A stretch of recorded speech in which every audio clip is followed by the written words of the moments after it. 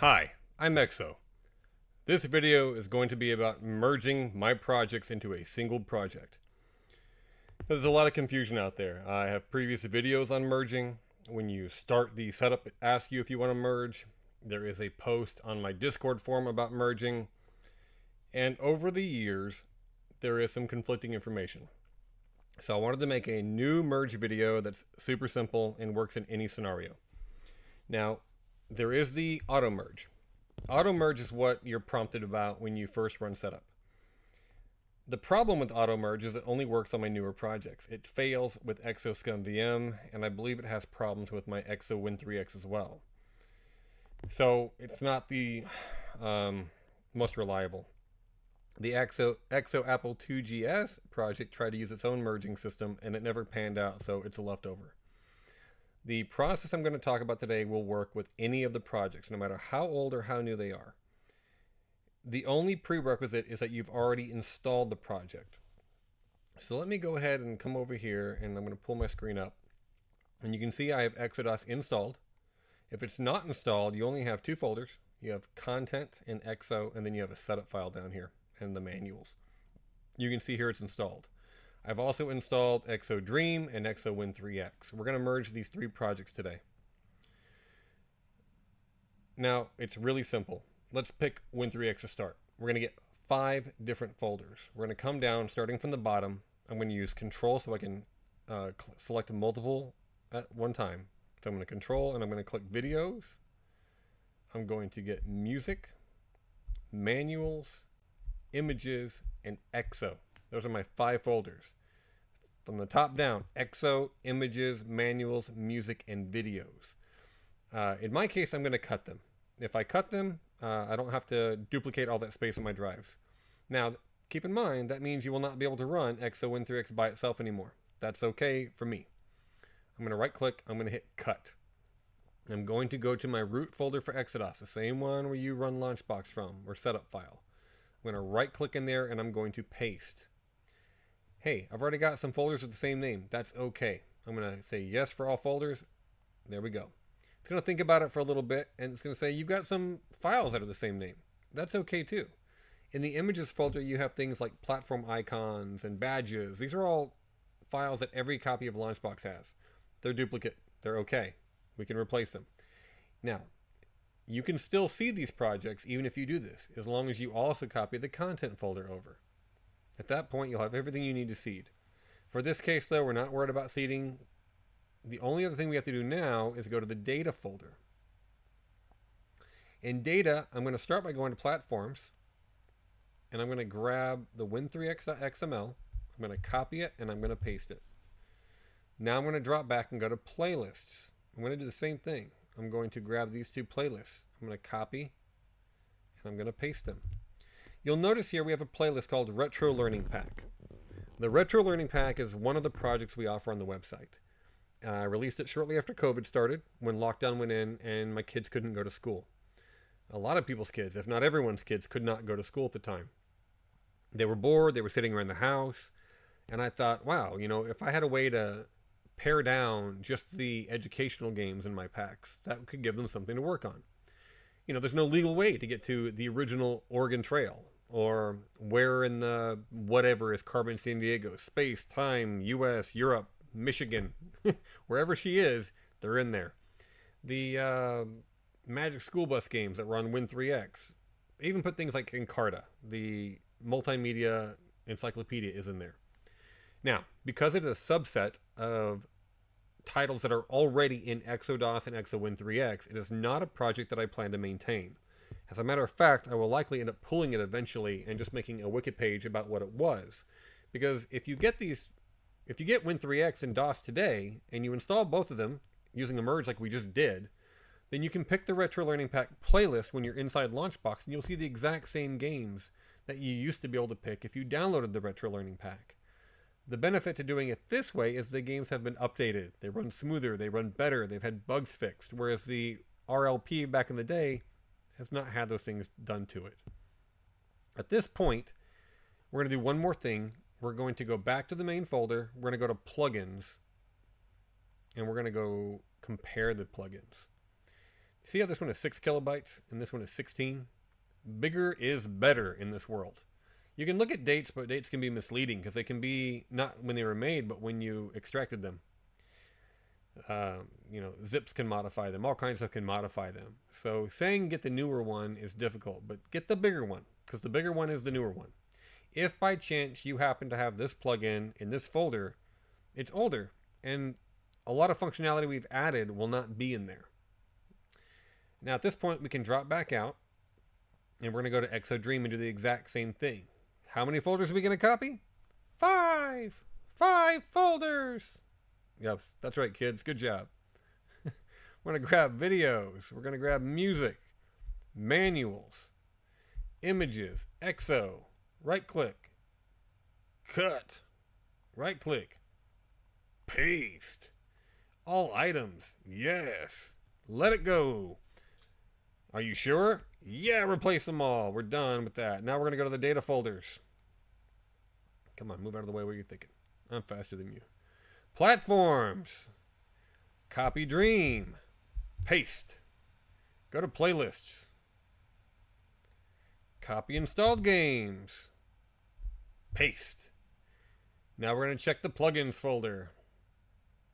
Yeah, where's it at? Pause themes, plugins. This one is the same date, same size. We're good on that one. Um, nothing's changed between ExoDREAMM and Exodos version 6, so I knew that would be all right. At this point, everything's merged. It's done, ready to go. There's one caveat. You see, in the data folder is something else called parents and platforms. The platforms folder defines which platforms have already been set up. Now, if it doesn't have a platform defined in it when you start Launchbox, like we're going to, it does not have ExoDREAMM in it right now. So we're going to start Launchbox up. ExoDREAMM will not be there. And that's okay. Because the way Launchbox works, see, we got, it knew about Win3x as that came up before. But it does not have DREAMM in here. That's all right. We're to start it. We're to wait a second. And we're to close it. Now we're to give it about 10, 15 seconds to take what's in memory and write it to disk.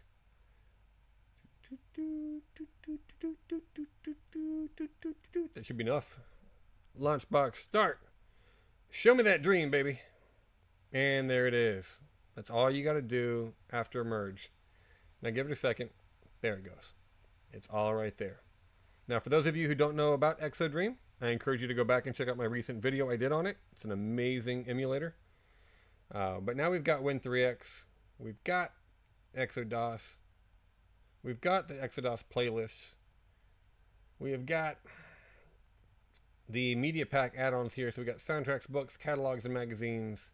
It's all here. Now, what if, what if we want Win3x and DREAMM to both be under computers? Super simple. Right click on it, go to edit, go to parent, check computers, uncheck root. Okay. Let's do it with DREAMM too. Edit, parents, computer, uncheck root. Now, under computers, there it all is. We have DREAMM, MS-DOS, and Win3x. Easy peasy. That is all being saved. Under data, you have parents, and that's all right there. So once you have saved that, if you move that file to any other copy, you'll keep all your parent stuff that you've done in Launchbox. Now, you'll notice MS-DOS has an icon. Windows does not, DREAMM does not. Why? Because Launchbox includes platform icons for a series of basic platforms. Windows 3X and DREAMM are not in there. Now, I have included icons for them, but you will only see them if you have a Launchbox license. At that point, it enables them. Uh, other things you get with a Launchbox license are uh, ability to see our preview videos. Every game in DREAMM has a preview video. You can click on the game, and a video will play. Thank you. Uh, now, you only see those preview videos in Big Box, I believe. I think there might be a theme or two for a regular launch box that can play videos, but again, to change themes, you got to have a license. Now, one other licensing is you'll notice under Win3x, some games have gray boxes on them.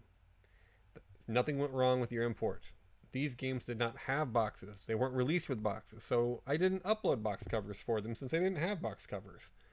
Now later with Exodos version 6, I went ahead and I put covers on the games that didn't have boxes because it made it look so much better.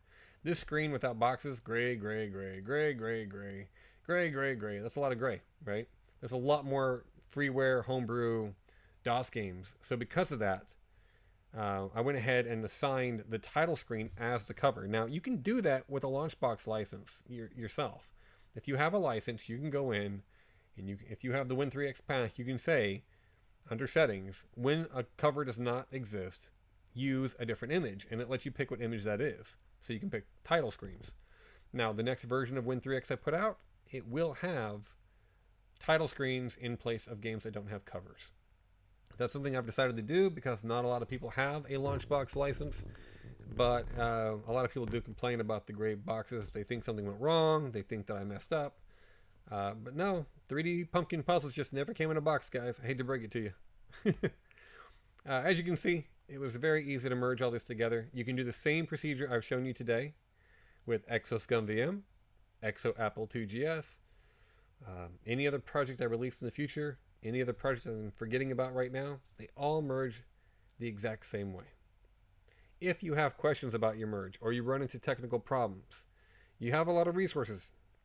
You could leave a comment here on the channel, but it's really hard to do tech support in the comment section of a YouTube video. Believe me, I've tried quite a few times lately. Not easy. You're welcome to try, and I'll try my hardest. You can email me directly. My email is on my website at www.retro-exo.com. My uh, website is also in the description of this video below. At my website, there is also links to my wiki, the wiki.retroexo.com, uh, which documents all this stuff. Invite to my Discord channel, which is where the best place to get help is. We have a help channel there with a lot of helpful people. So even when I'm asleep, yes, I have to sleep sometimes too. They will be there to help you out with your questions. And if you search the forums, there's a good chance someone else has already had your problem and it's already been solved. And you can just read the fix and there you go. But I'm still, we are still happy to help you if you don't see your problem or if you're just not sure if it's the same as somebody else. Make a post in the help section and we will get you. With that, thank you for watching the video. Thank you to everyone who's been donating to the project. It makes a difference there is a game that we have been looking for for years. Um, it was a, a, reading game voiced by Howie Mandel, and the name of it's escaping me right now. There is no reference to it online for the most part, but we knew it existed because we had the writing adventure that matched up with it, but or the math adventure, but not the reading one. It finally popped up on uh, eBay last week, using donations from uh, very recent donations from everyone I pulled that money together and I bought the game. We now have found a game that's been missing. It's unarchived, it's undocumented, and it's a major commercial release for uh, Windows 3X. There are hundreds of commercial games for Windows 3X that were never archived, never documented. And unfortunately, when they come up on eBay, they're usually quite expensive. Every dollar that is donated to the project goes towards acquiring these games. This is my this is my hobby. This isn't what I do for work. This isn't how I make my money. I have a full time job during the day that I make my money from, not here. There will be a physical copy of Exodos version 6 coming soon to the, my uh, Etsy shop. Yet again, all proceeds from that go towards our fund to support the project. And to be very, very clear, I do not sell these games. If you buy Exodos, you're not buying these games. I don't include the games. You're getting a box. You're getting a manual. You're getting a catalog. You're getting uh, a registration card that has fun stuff on it. If you buy certain tiers, you get a signature. I've made pins in the past, enamel pins. I've made stickers. Uh, I've looked at patches, all kinds of stuff. You're getting a box of goodies. It's a professional quality box, 24 uh, point card stock. It's thicker than anything I've gotten off any of my Kickstarters, even from professional companies. If you look at my reviews, I've sold everyone, they're all five stars. Every single one says, wow, the quality is amazing. It very clearly, though, says there are no games included. Now, there is a supporters version that comes with an external hard drive that is pre labeled to put your packs on once you receive it. Um, that is again, not the games. It's something to put them on, and it's got a nice casing that fits right in the box so that if you want to put all the stuff in the box, you can. The box is for collectors. It's not designed to sell the project to anybody. It's just for something to physically have, to support the project. Uh, and so many of us grew up in a time when we had boxes that represented the things that we love. And to have boxes of Exodos on my shelf is something that means a lot to me, and to a lot of other people too. Now, if you are in a place where you have trouble getting the project, if you need the files, if you can't find a way to download because your ISP, come to the Discord and talk to us, and we will find some options for you. Okay? Or email me directly. Just email me and ask me what to do about that, and I will give you solutions. Um, but it's important to me to know, to let everyone here know. I get a lot of criticism online that I'm selling people's computer games. I don't sell games. Uh, what I sell is a box. My project is free. Anyone can download this project. There's no entry fee to get it. You go to retro-exo.com, you go to my project page, there's a torrent file for every one of these projects. You click download, you get them. There's no ads on my website. I don't monetize my YouTube videos. I'm not making money off this. That's important for me to, uh, to let everyone know. I don't like the misinformation out there. I don't like the judgment that I you know, I respect these games. I respect the people who made these games. That's why I'm preserving them. You know, the guy, I've had developers reach out to me and say, hey, you've got a game that I wrote 30 years ago and you got it running. Can you send me a copy of that? I haven't played it in 20 years. Yeah, man, you got it. I'm so happy to do that. You know, so anyway, I, the point of that was thank you for everyone's support. I will have things in the shop very soon. Best of luck with your merging enjoy your games. Preservation through playability is my motto. I'm going to start saying that every video from now on because it is 100% important to me. It's why I do this. It's why I've spent 15 years doing this. Thank you again, guys. Good night.